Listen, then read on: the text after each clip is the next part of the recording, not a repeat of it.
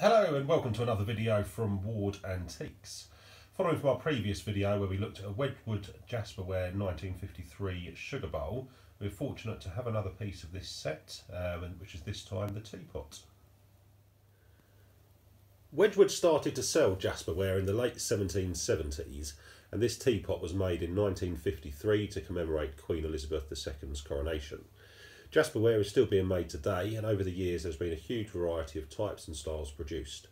Apprentices at, the, at Wedgwood train for up to 10 years, which really shows the time and attention the company puts into its products. Jasperware has been produced in a number of different colours, with the pale or Wedgwood blue, as is shown on these two, being the most popular.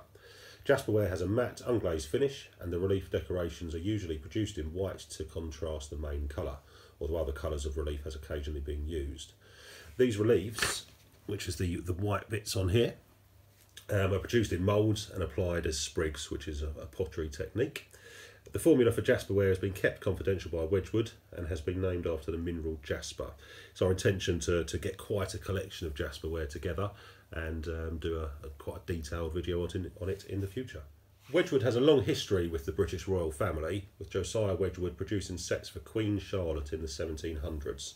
And one of the royal wedding cakes when Queen Elizabeth and Prince Philip got married was in Wedgwood blue with white detailing to make it look like a Wedgwood piece, which shows just how fond the royal family is of the company.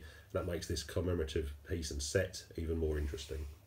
This teapot is in the Wedgwood blue Jasperware colour with the white Jasper relief moulded decoration. Inside of the teapot there is the glazing as is common with all of the um, Wedgwood teaware as you can imagine, so it's going to be holding water. The teapot is decorated with the images of Queen Elizabeth on um, the one side and Prince Philip on the other side uh, with the text obviously there His Royal Highness Duke of Edinburgh and on this side the HM Queen Elizabeth II and obviously the date's June 1953. Part of the decoration is on both obviously the Queen and on Prince Philip having their crowns above their heads to commemorate the coronation for which this set was produced. And as with the sugar bowl, there is the leaf and berry white jasper relief around the spout, the handle, and obviously the lid of the teapot as well.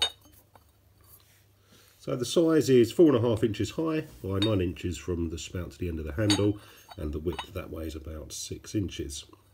The condition of this one um, is absolutely fantastic. So underneath the teapot is the uh, all-important stamp to obviously let us know that it's genuine. And this one's 1953 Coronation, Wedgwood, Pale Blue Jasper, made in England.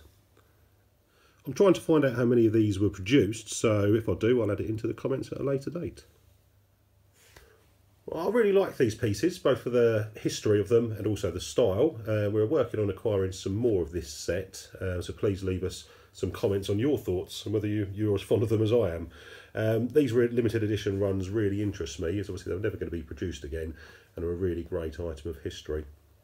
That's all for today. Thanks for watching, and if you enjoyed this video, please check out our others and give them a like and subscribe to us to be kept up to date with our new items. If there is anything you would particularly like us to feature, please drop me a message or add it into the comments and we'll see what we can do. Goodbye for now.